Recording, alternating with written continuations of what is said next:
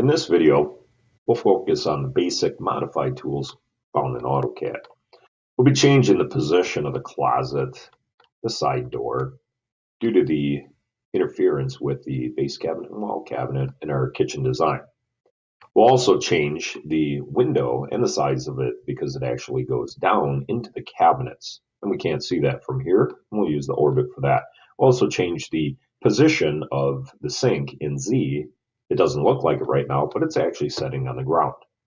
We'll also be changing the range and refrigerator to line up a little bit with the cabinets that are above them. We'll start with these first, and we'll simply left click on the range, and we'll left click on the cabinet. And you can see that it is a little off. The cabinet stops here against the 12 inch cabinet and stops here against the range. I'm going to select escape. I'm going to select the range, and since the grip is in the middle, I'm simply going to grab the middle of the grip and drag it until I see a triangle, which represents the midpoint. If your midpoint isn't on, come down to by your taskbar and you'll see a small little box with a spark and you'll see a small little down triangle. Left click on that down triangle and you'll notice these are the object snaps or the stickers available to you to stick to different components and shapes. If midpoint is not checked, you will not see the triangle. Make sure midpoint is checked. Left click back in your screen. You can see now our range is evenly spaced within that wall cabinet. The refrigerator, I'm simply going to left click and do the same thing. Left click on the grip and drag it until I see the midpoint of that cabinet. And now the refrigerator is lined up. We're going to select the window, and in the same manner, we're going to select the grip, and it doesn't have to necessarily slide straight across or horizontal. We can simply left click on any midpoint that's available to us because the window needs to stay in the wall and left click to drop. And you can see it's perfectly centered within the cabinets and within the sink. Changing the closet and the side door, it's a little trickier. There's two types of drags you can do in AutoCAD, a front drag and a back drag. If I select in anticipation of a big square around, I'm going to left click and not drag by holding my left mouse button down, but simply letting go of my left mouse button and clicking down in the right. That's a front drag. I'm going to select escape. If I do a back drag and just do the opposite, whether it be up here or here, you can see that the window changes differently. Here it's green. Left click. And you see more components are highlighted. So the difference, if I move over here, click, let go, you can see the front drag option and the back drag option. The front drag needs to capture everything within that box to be selected. In the back drag with the dashed lines, things just need to be hit to be selected. If I come up here and I want to select just the wall, the bifold doors, this wall, and this door, I would anticipate my drag starting here. Left click and drag to capture everything within that window that I previously mentioned. Left click. And you can see it's just the door, that wall, that wall, and this door. This wall is not selected. This cabinet and this cabinet are not selected.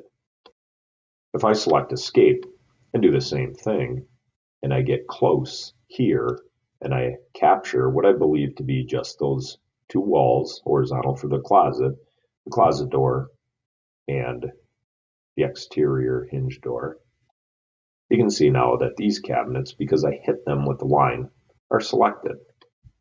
Select escape. So it's very important when you're moving things.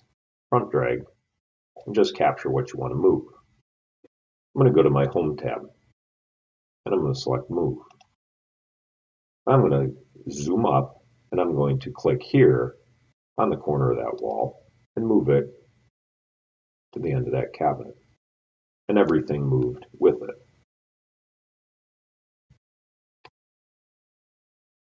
The kitchen sink and the window are moves necessary in the z-axis.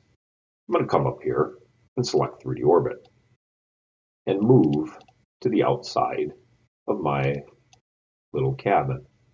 Now you can see that the window is just as tall as that window. However, when we look on the inside, it's going into that cabinet. And you can see the sink going into the ground. If I select the window, I can do one of two things. I can select my right mouse button then and left click on properties to bring up the properties of that window. I'm going to close this out and select escape. The other thing I can do, and I can do anything with or this to anything, any component, is double click on the component. Double clicking on the window brings up that same properties window. If I use the sidebar to scroll down, I can see the height here is 5 feet. If I change it to 36 inches or 3 feet and select enter, you can see now my window is a little bit more normal for this type of kitchen. I'm going to close my properties window and use the orbit. And now it's not sneaking into my cabinets. I'm going to change the Z of the sink. This could be confusing to some. If I go to a front view, by means of selecting over by my 3D orbit and select the front view, I can see my conceptual I'm still in, but if I go to the wireframe, I can see everything through my house. And you can see once again the sink is in the floor. If I select the sink and I select now move, and I can pick the sink anywhere. The cabinets have a standard height also. I'm going to click on the bottom and drag it up. I do not want to see any of these apertures that are around. So what I want to do is drag it past anywhere it could stick to and just manually type in distance. And that distance for us is, just like the window, 36. Select enter. You can see now, if I zoomed up, here's a kitchen blind drawer and the door in the top of the cabinet. And it has a small space of an inch and a half between what will be our countertop and our kitchen cabinet. If I go back to the top view, this completes our lesson of modification of components in your home.